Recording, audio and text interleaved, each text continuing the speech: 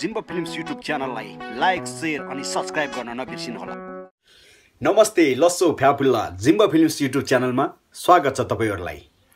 आज लकडाउन भएको ठ्याक्कै बिस दिन भइसकेको छ। अझ बिस दिनसम्म हुँदाखेरि के के घटनाहरू घटेर के के भयो नेपालमा त्यसको विषयमा छोटो मिठो जानकारी लिएर उपस्थित भएको छु।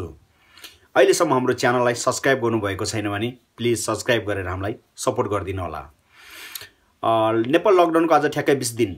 बिस दिनसम्म आइपुग्दाखेरि अझ धेरै लकडाउन कडाइ हुँदै गइरहेको छ।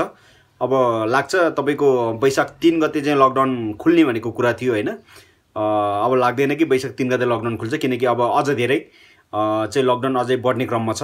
त्यो हन्ड्रेड पर्सेन्ट बढ्छ यसमा कुनै पनि दुई मत छैन किन भन्दा त्यसको कारण हो आज मात्रै तिनजना होइन कोरोना सङ्क्रमित अझ थपिएको छ।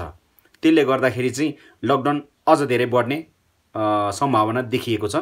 गर्दाखेरि तपाईँहरू जहाँ बसे पनि जसरी बसे पनि मैले जहिले भन्दै आइरहेको छु मेरो हरेक एपिसोडहरूमा होइन जहाँ तपाईँहरू जहाँ बसे पनि जहाँ जसरी बसिरहनु भएको छ आफ्नो ध्यान राख्नु होला सकेसम्म बाहिर नगइदिनु होला होइन। यदि घरमै बस्ने क्रममा पनि तपाईँ साबुन पानीले मिची मिची कम्तीमा सातदेखि दसचोटि आफ्नो हातलाई सफाइ गर्नु होला अनि आफ्नो आफन्तहरूलाई पनि सबैले त्यही सुझाव दिनु होला सबैलाई होइन तनाव भइरहेछ। अब लकडाउन बढेसँगै होइन बिहान बेलुका छाक्टन गाह्रो हुनेहरूलाई अझ धेरै पीडा बढ्दैछ।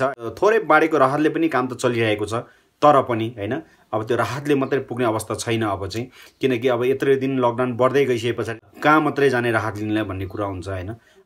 नेपालमा तिनजना कोरोना सङ्क्रमित बढेसँगै नेपाल अझ धेरै खतरा भएको छ।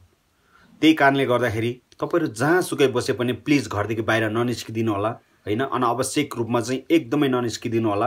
आफ्नो सेफमा बसिदिनु होला र आफूलाई एक नम्बर फर्स्ट अफ अल चाहिँ आफूलाई एकदम केयर गर्नु होला। मैले अघि नै भनिरहेको छु होइन? साबुन पानीले चाहिँ मिची मिची हात धुनु नबिर्सिनु होला कम्तीमा दिनको सातदेखि दसचोटि। बाहिर निस्किने क्रममा पनि होइन? मास्क लगाएर निस्किनु होला।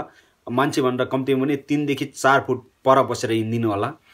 लकडाउन घट्छ कि भन्ने आशमा थियो। हामी सम्पूर्ण सारा नेपाली होइन? तर कोरोना सङ्क्रमित बढेसँगै लकडाउन घट्ने होइन अझ बढ्ने क्रममा चाहिँ देखिरहेको छ।